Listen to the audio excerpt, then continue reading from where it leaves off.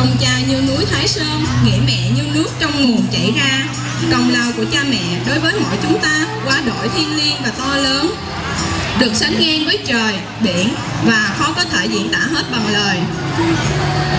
Xin cảm ơn mẹ, người đã mang nặng đẻ đau, người đã cho chúng con cơ hội bước đến cuộc đời này. Từ lúc mới chào đời, mẹ đã là người chăm lo cho chúng con, từng giấc ăn, từng miếng ăn giấc ngủ, mẹ đã cất lời ru gieo vào lòng chúng con những tình cảm trong sáng đầu tiên. Mẹ cũng chính là người thức trắng đêm ở bên cạnh để chăm sóc cho con những khi con ốm đau, bệnh tật. Đi khắp thế gian không ai tốt bằng mẹ, gánh nặng cuộc đời không ai khổ bằng cha. Chúng con xin cảm ơn cha, người đã nâng đỡ, dìu dắt chúng con từng những bước đi chập chững đầu tiên cho đến tận ngày hôm nay. Cả cuộc đời của cha là những chuỗi ngày vất vả, dầm mưa, giải nắng, nuôi chúng con nên người.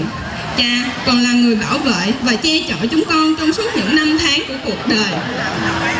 Chúng Đây con rồi, xin gửi lời tri ân sâu sắc từ tận đáy lòng mình đến cha mẹ vì đã luôn là những người chia sẻ, động viên giúp chúng con đứng dậy bước tiếp trên con đường của mình sau những thất bại, sau những vấp ngã.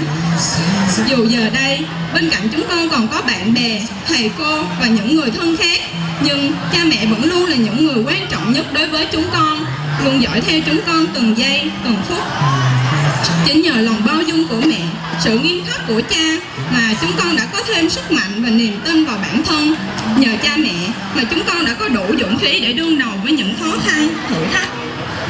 ấy vậy mà đôi lúc chúng con đã vô tình hoặc cố ý không hiểu cho tấm lòng cha mẹ. Chính chúng con đã cảm thấy phiền phức vì sự quan tâm lo lắng của bậc sinh thành. Chúng con mãi chạy theo những thú vui mới lạ, hấp dẫn của tuổi mới lớn và rời xa vòng tay cha mẹ Chúng con quan tâm tới bạn bè xung quanh nhưng lại vô tâm với chính cha mẹ của mình, những người yêu thương chúng con một cách vô điều kiện. Giờ đây, chúng con cảm thấy thật có lỗi vì những sai lầm của mình. Thời gian trôi qua quá nhanh, làm đôi mắt của mẹ ngày càng mờ đi, làm mái tóc của cha bạc màu hơn trước. Vậy mà bây giờ chúng con mới nhận ra điều đó. Chúng con xin lỗi cha mẹ vì chúng con còn quá nhỏ để hiểu hết tình cảm của người và cảm ơn người đã luôn bên cạnh chúng con trong suốt thời gian qua. Trong những năm học cuối cấp này, chúng con đã bị áp lực rất nhiều vì chuyện học hành và thi cử. Lại một lần nữa, cha mẹ để tiếp thêm sức mạnh cho chúng con để chúng con vững tin và an tâm trong việc học tập của mình để chúng con có thể chạm gần hơn đến cánh cửa tương lai đang rộng mở. Nhưng cũng có lúc chính những kỳ vọng của cha mẹ lại trở thành áp lực cho chúng con Chúng con hiểu những kỳ vọng ấy là vì muốn tốt cho chúng con và vì cha mẹ nào cũng muốn nhìn thấy con mình trở nên thành đạt. Nhưng cha mẹ hãy tin tưởng vào điều mà chúng con đã lựa chọn, tin vào khả năng của chính con mình. Chúng con hứa sẽ không làm cha mẹ thất vọng.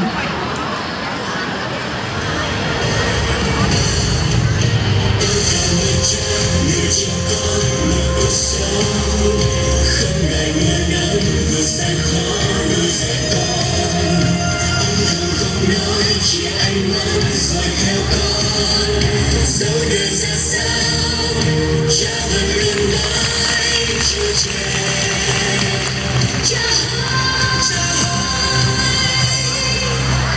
Một đời người, một dòng sông, mấy ai là kẻ đứng trong bên bờ.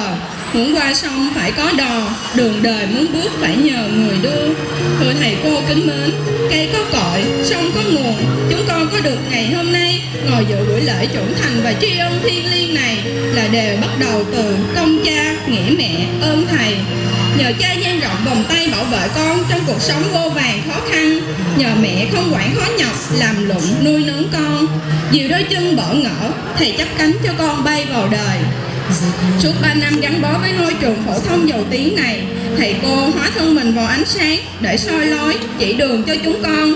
Thầy cô như những người cha, người mẹ thứ hai của chúng con Tuy không có ơn sinh thành nhưng đã có công lao dạy dỗ. Thầy cô không những dạy cho chúng con kiến thức mà trên cả thầy cô dạy con về cuộc sống, về cách làm người chuẩn mực. Những câu chuyện thực tiễn, những trải nghiệm, những bài học thú vị về cuộc sống của người giúp chúng con hiểu biết thêm về nhiều điều và không bị bỡ ngỡ khi bước trên con đường đời phía trước. Người xưa có câu, không thầy đố mày làm nên, quả không sai chính là những người đưa đò, đưa chúng con đến bến bờ tri thức, người hướng dẫn chúng con đi những bước tiếp theo để chạm đến thành công. Chính nhờ có thầy cô mà chúng con ngày một trưởng thành hơn, tích lũy được nhiều kiến thức hơn và không cảm thấy lẻ loi trên con đường tri thức dài rộng kia. Xin gửi lời tri ân chân thành này đến thầy cô vì đã luôn quan tâm lắng nghe học sinh của mình, giúp chúng con vững tin vào chính mình và tự tin đối mặt với những thử thách. Ai cũng nói nhất quỷ nhì ma, thứ ba học trò. Vì là học trò nên đôi khi chúng con cũng có những trò phá phách khiến thầy cô không vui. Nhưng rồi thầy cô vẫn tha thứ và chỉ dạy cho chúng con. Xin cảm ơn thầy cô một lần nữa vì đã hiểu cho lứa tuổi của chúng con. Lứa tuổi ngây ngô nghịch phá nhưng không hề có ý xấu làm ảnh hưởng đến ai và nhiều lúc, những hành động ấy của chúng con chỉ vì mong nhìn thấy nụ cười thoải mái của thầy cô sau những chuyến đưa đò mệt mỏi. Chúng con thật sự xin lỗi nếu đã làm thầy cô buồn lòng. Thời gian gắn bó với ngôi nhà chung này của chúng con cũng không còn nhiều nữa. Ba năm học cấp 3 sao mà cho nhanh quá? Khiến chúng con ngỡ ngàng vì sắp phải xa thầy cô, bạn bè, trường lớp. Nhớ ngày nào chúng con còn bỏ ngỡ, lạ lẫm đứng trước cổng trường khi vừa vào lớp 10. Vậy mà giờ đã phải chia tay ngôi trường này, nơi có nhiều kỷ niệm của tuổi học trò, tuổi đẹp nhất của một đời người. Thầy cô kính yêu, trong giờ phút chia tay đầy xúc động này, chúng con không biết nói gì hơn, chỉ biết gửi đến thầy cô lòng biết ơn vô bờ và lời hứa chân thành từ đáy lòng mình. Kỳ thi Trung học phổ thông quốc gia cũng đang đến rất gần. Chúng con hứa sẽ siêng năng, chăm chỉ và cố gắng hết mình để đạt được những kết quả cao nhất. Và dù mai đây, trên muôn vạn nẻo đường, chúng con cũng mãi nhớ về thầy cô, nhớ về mái trường trung học phổ thông giàu tiếng thân yêu. Thầy cô hãy tin tưởng vào chúng con, chúng con sẽ không làm thầy cô và cha mẹ thất vọng, sẽ không để phụ lòng những người đã có công dạy dỗ chúng con nên người.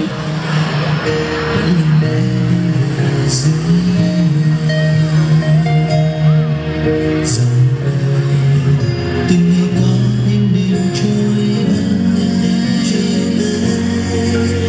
trên phố bao người đón đưa, dòng sông giờ gió còn ai nhớ, ai quên con xưa Cuối cùng con xin gửi lời chúc sức khỏe đến cha mẹ và thầy cô. Mong thầy cô luôn thành công trong sự nghiệp trồng người cao quý của mình. Chúc toàn thể các bạn học sinh lớp 12 có kết quả cao trong kỳ thi trọng đại sắp tới. Chúc các em học sinh khối 10 và 11 có một mùa hè thật bổ ích, nhiều niềm vui. Xin cảm ơn thầy cô và các bạn đã lắng nghe.